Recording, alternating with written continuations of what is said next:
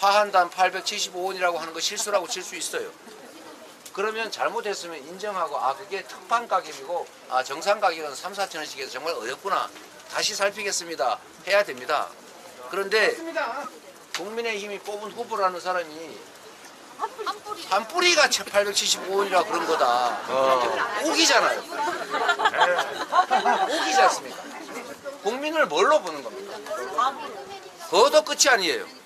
이번에는 정부 관료가 다시 하나라 못하거든. 어? 875원짜리 또 있네? 하나라마트가 875원의 특판 행사를 또 하고 있어요. 하필이면 875원입니다. 딱 맞춘 거 아니겠어요? 국민을 정말로 존중하고 국민을 두려워하고 주인을 모시는 일꾼 모습의 자세라면 결코 그렇게 할 수 없습니다.